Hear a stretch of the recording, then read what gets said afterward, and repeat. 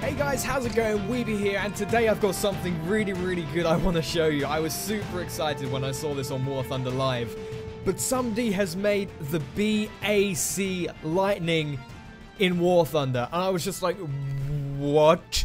I have to play this right now. I haven't actually flown it yet, okay? So this will be my first reaction as well as yours, and I'm just, I'm so excited right now. You don't even know. The BAC Lightning's one of the planes I've always wanted to fly, and ah, oh, there it is. okay, stuff it, go. Should we do realistic? Yeah, have realistic, because then we get, well, it's based off of a MiG-17 flight model, apparently, because obviously reasons, you know, flight models are quite hard to develop. But, um, yeah, just go, go, go, don't care, it's lightning. Oh, I'm gonna my! What's it gonna look like? Is it gonna is it gonna look good? I don't know. Oh, I can hear it. oh my god. What? That is freaking awesome. Look at that! Okay, it's got reduced texture models, but it still looks phenomenal. What the hell? What? Dude, this thing is awesome. What guns does it have? Oh, it has 30 mils. Sweet. How awesome is this? Alright, let's take it up. See if we can break the sound barrier. Because I think we have to take it up to about mm, 2,000 meters to be able to probably go to dive and break the sound barrier, but look at this thing. Does it a cockpit? No. Wow.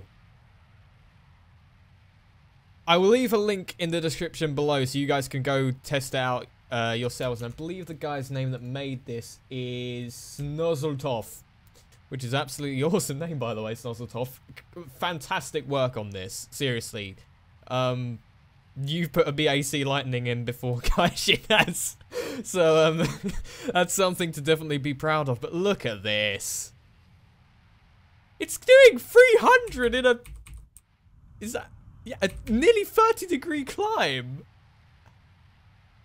That's insane. We're nearly at like 5k already. If we go to 7k, then dive. I've got to see if it can break the sound barrier. We've got to do that. Come on. Keep going. Do it.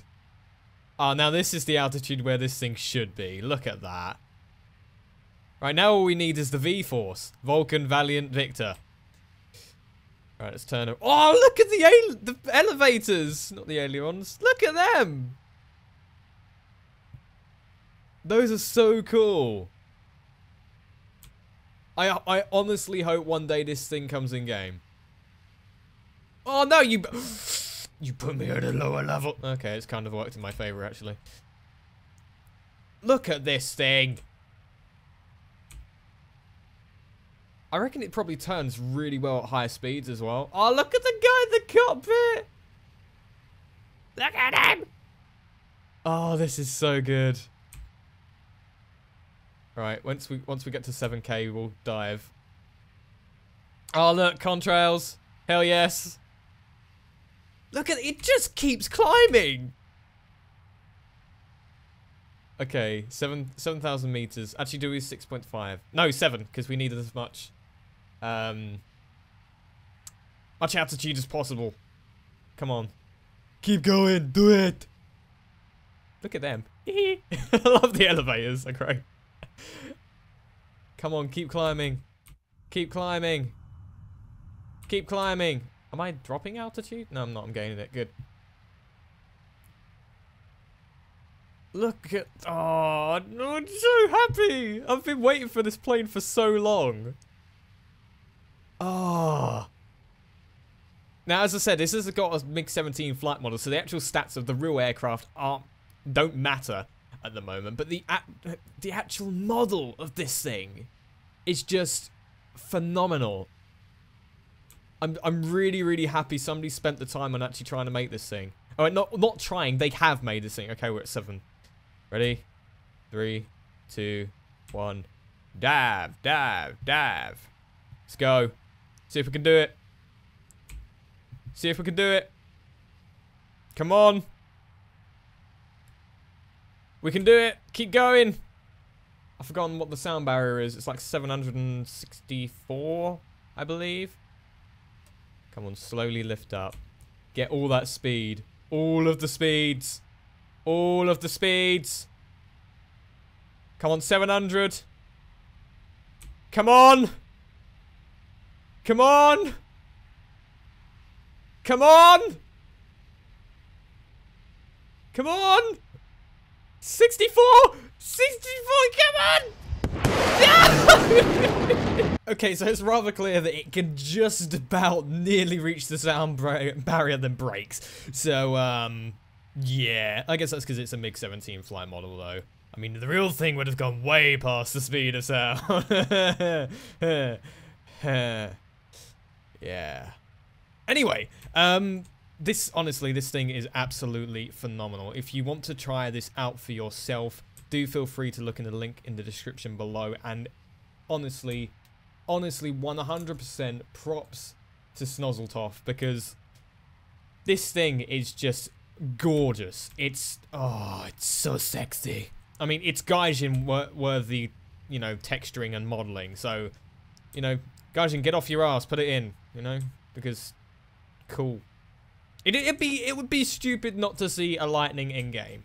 I mean, I'd like to see some Cold War stuff. I think that should be the maximum. You know, early Cold War would be really cool. Um, it just means guys, you're making a few more maps. I mean, there's Moscow. There's that Moscow map. I have never ever got onto that. Did it? You know, everyone like a couple of patches back, they're like, oh yes, we have new map, Moscow. It's like, well, well it is designed for jet battle. Okay, why isn't it in jet rotation then? I've never been on it, ever. That would be great for Cold War stuff. As well as maybe Germany, it's kind of like a German map would be really, really good for Cold War as well. Let's see how it looks when it comes into land. Come on, down you go. Good girl. There, look at that. Come on, down you go. There we go. God, this thing is just sexy. Anyway, guys, hope you enjoyed. If you did, please make sure you hit that like button below. Subscribe if you're new around here for more War Thunder content. And put in the comment section below if you really would like to see the BAC Lightning in game as well as some other Cold War aircraft. I'd be interested to see that. Remember, check the description below for the link to this uh, to this rather lovely model. And uh, the installation is rather easy. Um, I'm hoping, well, I might put a comment on that that live thread to explain how to uh, install it. But anyway, guys, take care. I'll see you next time.